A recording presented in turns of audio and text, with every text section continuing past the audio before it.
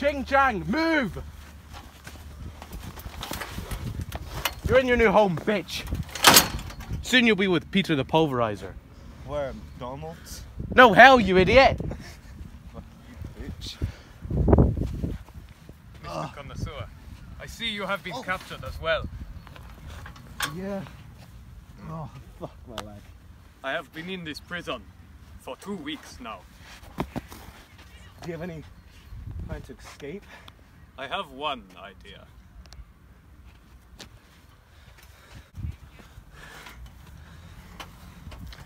Good evening, Mr. Ching Chong. Wow, that is a fine bulge! Would you like to come in here and take a little taste of my shlong? Ooh. Ooh, that's kind of hot, bro. Uh, just open up.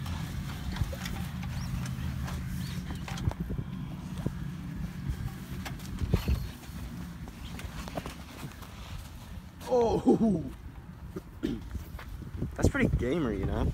It is time to go. We must escape while we have the chance. Get the fuck out. My massive bulging cock barely fits through that gap. Hey, what are you doing out there? Mr. Apple Connoisseur, run! Ah!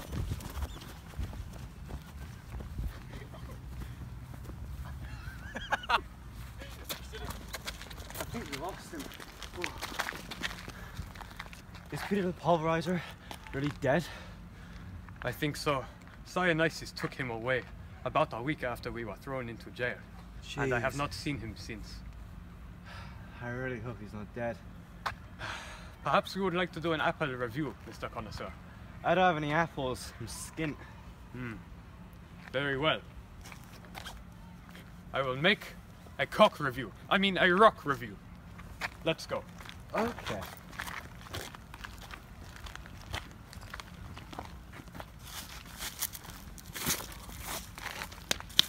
Now, this here is a very special rock. It is nice and hard, as you can feel. That's hard, alright. And if you slap it, you cannot hear any echoes, which means it has no air bubbles in it. Whoa. Very cool. It is nice and smooth in most areas, but carries a bit of a sharp point around here and here, for if you need to stab some with a rock. That's hmm. gamer. Yes. Little bits of bumps and crevices, clearly from good use, but uh, not bad at all. Hmm. Filled with nitrogen, as you can feel from the skin on the outside. But stay. Filled with nitrogen. My apologies, Mr. Connoisseur. Okay.